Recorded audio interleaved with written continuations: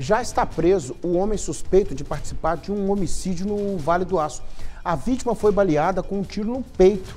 A polícia militar descobriu que os dois seriam desavenças e um tentou assassinar o outro há alguns dias.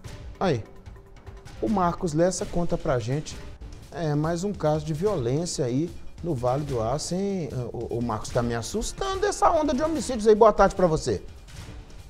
Oi, Nico, boa tarde para você, para todos que nos acompanham aqui no Balanço Geral. Nico Luiz Henrique de Souza Pinto, de 30 anos, foi morto a tiros na manhã desse domingo na rua Hortência, no bairro Esperança.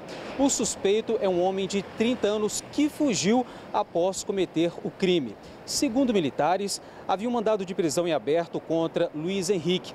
Ele é um dos envolvidos no tiroteio do dia 4 de novembro, em que uma menina de 5 anos foi atingida em uma das pernas, porém, esse não foi o motivo. O motivo, segundo militares, seria o tráfico de drogas na região do bairro Esperança.